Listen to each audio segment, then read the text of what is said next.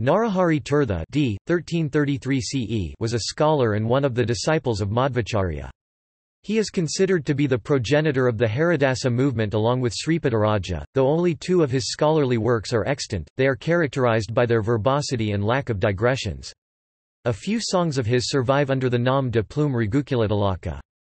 As a minister of considerable influence to the eastern Ganga rulers and later as the pontiff of Madhvacharya Mutt, Narahari converted the Simhachalam temple into an educational establishment of renown and a religious centre for Vaishnavism.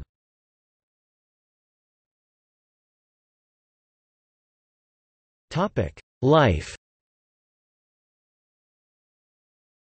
Nothing is known about his early life except that he served as a minister in the eastern Ganga kingdom in Kalinga modern-day Odisha and later as a regent in the stead of Narasimha Deva II before his ordination as a monk. Information about his life is derived from a hagiography called Naraharyatastatra, Narayana Pandita's Madhva Vijaya and inscriptions from the Srikurmam and Simhachalam temples, all of which attest to his regency.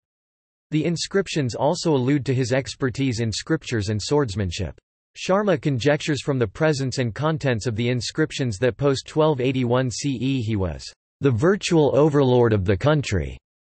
At the height of his power, he built the Yogananda Narasimha temple in Srikurmam and defended the city from attacks of Vandals.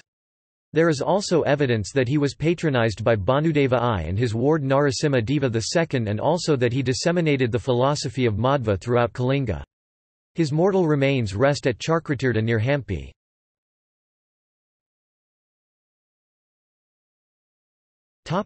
Works and legacy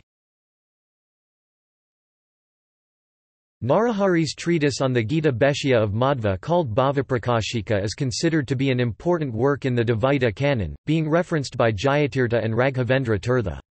Sharma notes that Narahari expands upon the obscure passages in the source text and directs polemical barbs against the commentaries by Sankara and Ramanuja.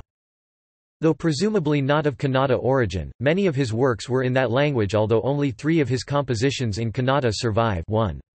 Narahari and Sripadaraja are considered to be the forerunners of the Haridasa movement by penning songs and hymns, mostly containing the teachings of Madhva in simplified terms and set to music in the vernacular Kannada language.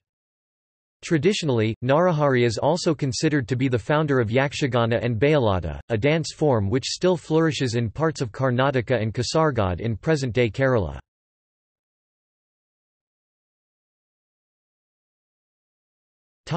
Notes